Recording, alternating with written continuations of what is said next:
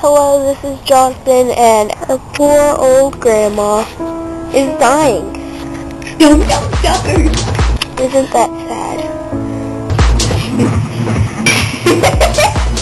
She's starting to melt.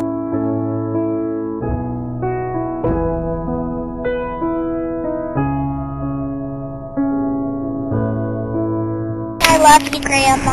I love you too. Goodbye. Goodbye, my friend. You have been the one. You have been the Well, one I wanted to show you.